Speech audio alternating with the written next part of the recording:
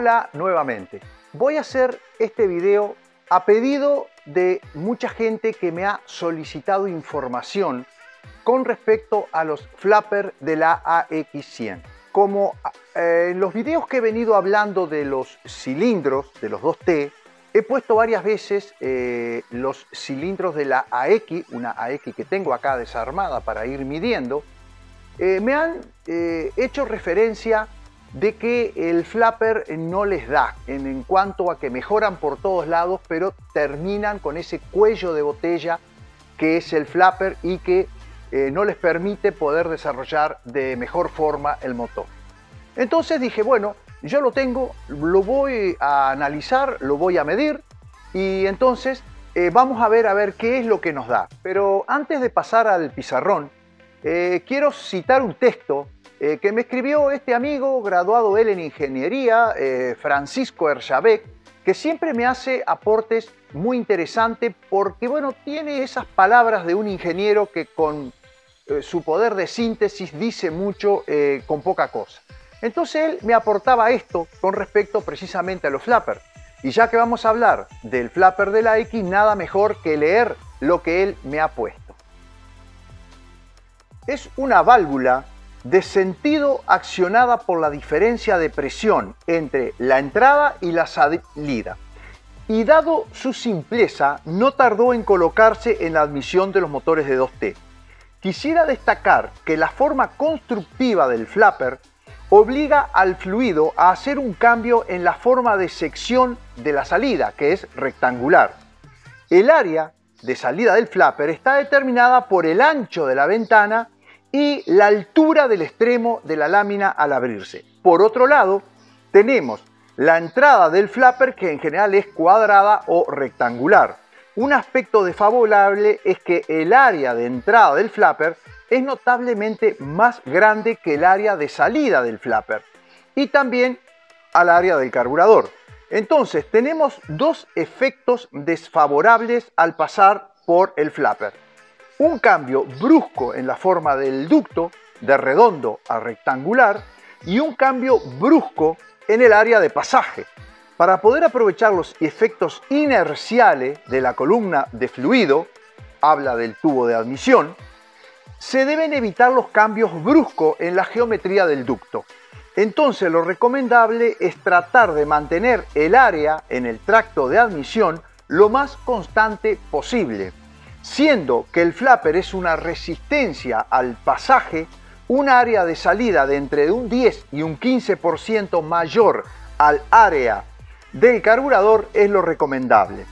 Respecto al cambio de forma, lo aconsejable es realizar un cambio progresivo, ya desde el tubo de admisión, es decir, podemos pasar de un círculo a una entrada con forma de eclipse u ovoide a la salida del tubo de admisión. En la entrada del flapper habría que rellenar o insertar algún accesorio que haga la transición suave entre esa eclipse u ovoide y la salida rectangular que tiene el flapper.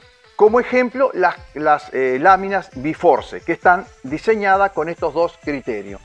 Claramente él explica que, bueno, que el tubo a misión no debería de tener curvas y si la tiene, que sea lejos del flapper para que eh, la inercia de los gases eh, digamos, eh, lleguen con toda su velocidad al flapper para poder luego pasar por esos cambios de, de forma, de área que tiene el flapper. Así que bueno, vamos entonces al pizarrón. Aquí tengo las dimensiones del flapper. Voy a explicar un poco para que se entienda mejor. Estas son, lógicamente, las ventanas dibujadas en la planchuela. Acá tenemos que las esquinas también se deben de medir porque afectan el área. Y bueno, tienen una redondez que equivale a un diámetro de 3 milímetros. Tienen 19 de largo las ventanas por 12,5 de ancho. ¿Qué son estos 13 milímetros que hay acá? Es donde esta, la anchuela limitadora de apertura, deja de apretar las láminas o sea, aquí deja de apretar las láminas. Esta es la distancia que hay desde que deja de apretar las láminas hasta que comienzan las ventanas. Acá tenemos las láminas, 14 de ancho por 44 el total de largo. Acá está perfectamente dibujado eso y estos 19 milímetros son la ventana. Ahora, una cosa muy importante. Cuando nosotros tenemos un tubo a misión que termina en un flapper, muchas veces no tenemos en cuenta el ángulo y hacemos tubos de admisión que después no nos funciona y no sabemos por qué es. Es porque hay que respetar este ángulo, que es el ángulo de incidencia del gas sobre las láminas. Explicado eso, vamos a mostrar rápidamente en la herramienta de software cómo funciona este flapper en el motor que ya lo hemos estudiado, que ya le hemos entrado las medidas, que ya sabemos a cuántas RPM tiene la máxima potencia y todo eso. Bueno, vamos a verlo ahí.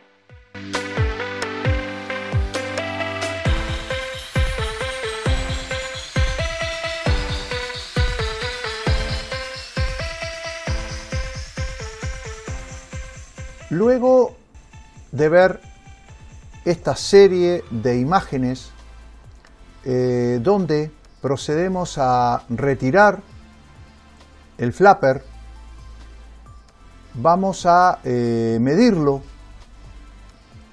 y entonces vamos a poder colocar las medidas en esta herramienta acá en el ordenador y paso a mostrarles. Primero que nada estoy poniendo la cilindrada, luego voy a las RPM. Quienes vieron mis videos anteriores habrán visto que estas son las RPM que yo encontré que era donde mejor se desempeñaba el eh, Suzuki AX100 con una presión media efectiva de 110 libras en el próximo video vamos a hablar precisamente de esto, que es lo que determina la verdadera potencia de un motor. Y esta cifra de 1,35 eh, es la precompresión del cárter. Eh, medí eh, un volumen de 380 gramos con el pistón en el punto muerto superior. Luego pasamos ya a las medidas que medimos en el flapper. Este es el ángulo 50 grados que ataca, digamos, el tubo de admisión a las láminas. Eso en el pizarrón ya lo vimos y yo lo expliqué. Tenemos el espesor de las láminas que son de acero, el material, acá lo dice steel, son de acero, es de 0,18 de milímetro. La cantidad de pétalos son 3, así como la eh, cantidad de puertos o ventanas. Los anchos de las láminas son de 14 milímetros, mientras que las ventanas son de 12,5 milímetros.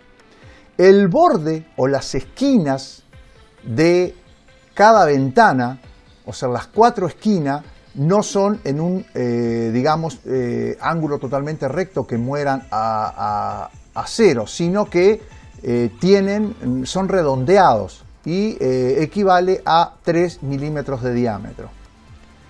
Esto que, esta medida de 34 milímetros es el juego libre que tiene el pétalo donde deja de apretarlo el, la platina contenedora o la platina limitadora de apertura de las láminas, eh, bueno, donde eh, deja de, apretarla contra el cuerpo del flapper, eh, a partir de ahí ellas tienen libre 34 milímetros. Estos 19 milímetros es el, el, largo que tiene cada una de las ventanas, ¿verdad? Es decir, son de 12,5 de ancho y 19 milímetros eh, de largo. Y eh, estos 13 milímetros es la distancia que hay desde que las platinas limitadoras de apertura de las láminas dejan de apretar la lámina a donde comienza la ventana. Eso, bueno, también ya lo expliqué en el pizarrón.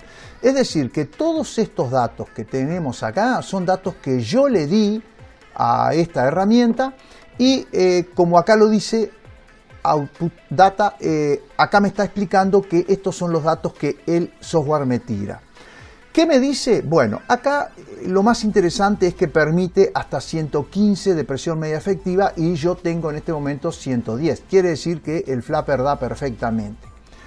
El carburador de la X es 20. Bueno, tenemos área en este flapper para 23,5 eh, de carburador, pero eh, acá una cosa importante, siempre hablando en estas RPM. Si yo aumento las RPM, ustedes van a ver cómo eh, empieza a caer la presión media efectiva. Es decir, que hasta estas RPM, o el flapper está hecho sobrado, no tiene ningún problema. Fíjense en lo bien hecho que la frecuencia natural del motor, que son 132 Hz, equivale a la frecuencia natural de la lámina. esa elasticidad que tiene la, lámina para retornar al lugar, esa velocidad, equivale a una frecuencia de 133.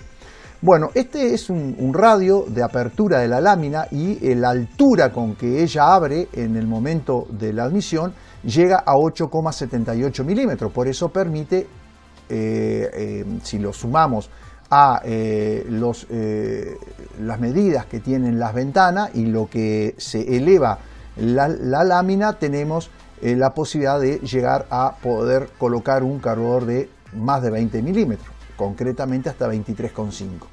Y después acá están las, potencias estimadas este, en, libras y, en, kilovatios, que son lo que estima el, el software que con este flapper en un motor de 98 centímetros puede llegar a dar.